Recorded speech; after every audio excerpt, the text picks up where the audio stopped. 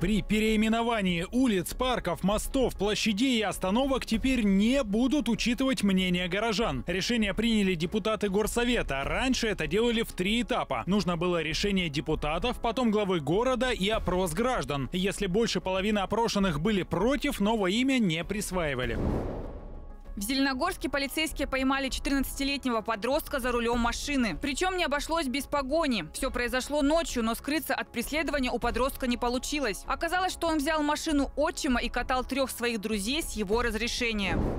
В Норильске на руднике Таймырский ГМК «Норильский никель» попытались скрыть тяжелую производственную травму рабочего. Прокуратура выяснила, что на мужчину осыпалась порода и сильно повредила ему позвоночник. Но работодатель скорую не вызывал и несчастный случай не расследовал. Теперь его оштрафовали на 5000.